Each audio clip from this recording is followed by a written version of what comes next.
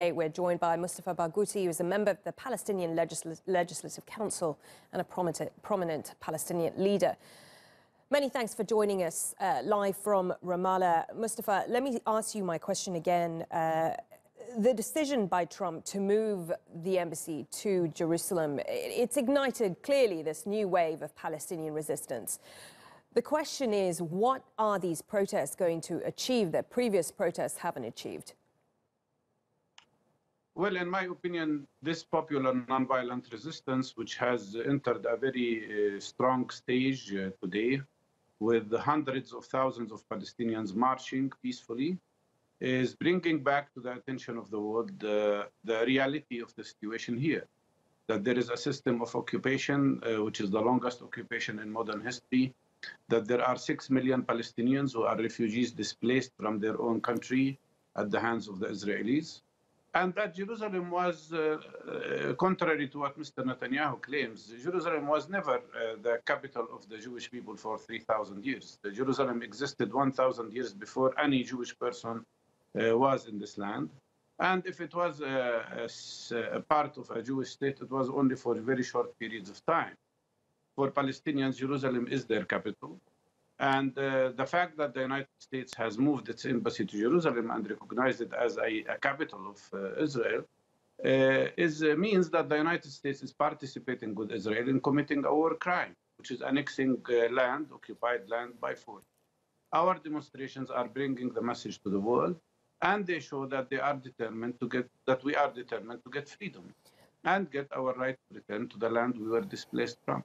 Dr. Barghouti, it is, it is easy to point the finger at Israelis, uh, but would it be fair to say that some of the frustration of the Palestinian people is actually down to their own uh, leadership, uh, for its weakness, its inability to unite, its corruption? Isn't that part of the reason we're still here?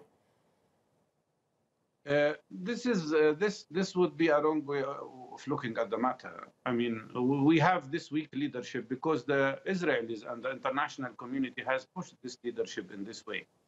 They imposed on them Oslo Agreement, uh, which was nothing but a big act of deceit to Palestinians. They forced them to establish a huge security apparatus at the expense of other needs in the Palestinian people and uh, they have uh, practically tried to uh, divide Palestinians as much as they could. And when we got unified, they boycott us. So uh, you cannot uh, uh, simply say that this is the fault of the Palestinians. We have our mistakes, of course. Mm. But the main problem is that there is a country called Israel that has displaced Palestinians by force, by massacres for 70 years. This is a country that is occupying the rest of our land and that is oppressing us. It has uh, created 1 million arrests among Palestinians uh, during the last 50 years. Uh, it, it is keeping thousands of people in jails. It is making Gaza a big open prison. And now it is oppressing us even when we are peacefully demonstrating. During the last four weeks, they killed 50 Palestinians, uh, including two journalists, and injured no less than 1,500 with live ammunition while they were peacefully marching.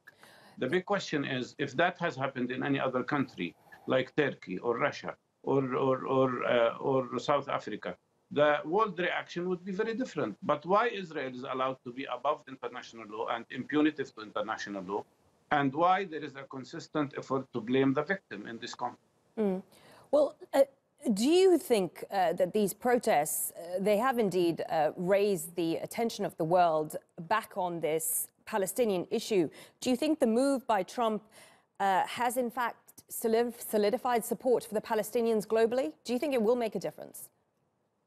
I think it will because what you can see today is that although the Americans and the Israelis are very happy with this move, they are really isolated. Uh, two countries only in the world are supporting this step, which is Guatemala and Paraguay. Uh, the rest of the world is boycotting these celebrations. Uh, the rest of the world is saying it's a wrong move. The rest of the world says that uh, you cannot have a solution without allowing Palestinians to have their own state. And the world is saying you cannot decide the future of Jerusalem unilaterally. And uh, that's why I think the United States decided to be isolated with Israel. And maybe this is a reflection of the isolationist policy of Mr. Trump, which is nothing but a reflection of the fact that the United States is finding great difficulty realizing it is not the only superpower in this world. Uh, we believe in our rights. We will struggle for our rights. We are now repeating the, uh, the, the very beautiful approach of Martin Luther King and Gandhi in peaceful marches. And we hope that the world will support our right for freedom. We are not against anybody. We are for our freedom and for our future. We want Palestinians to be equal to others. We want Palestinians to live in, in, in peace and prosperity. But we also know that we cannot achieve that without liberating our country from this system of oppression and apartheid that Israel has created. So, where do you go next in terms of peace negotiations? Can peace talks resume without the US? And if so, who would you like to lead those peace talks if it's not the US? We're calling for an international forum because the United States cannot be a mediator since it is totally biased to Israel. Uh, and it is not only biased to Israel, practically their envoys are becoming the spokespersons for the Israeli government, including their ambassador Friedman and others who are, by the way, supporting settlers as well. And it has just been discovered that they were financially supporting extreme uh, groups uh, that are even outlawed in Israel. So, uh, in our opinion, what we need is an international forum, and a solution can be found based on international resolutions, including UN Security Council resolutions and UN General Assembly resolutions, and not enforcing on us uh, a situation of apartheid forever just because Israel is powerful and has uh, a lot of weapons and has an army.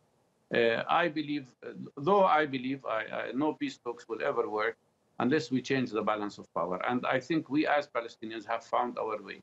Okay. peaceful protest, peaceful resistance, combined with boycott, divestment, sanctions is the way we're going to. And that's to change the balance of power so that we can eventually achieve peace.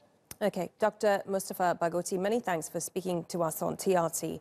Well, Dr. Barghouti, there, a member of the Palestinian Legislative Council.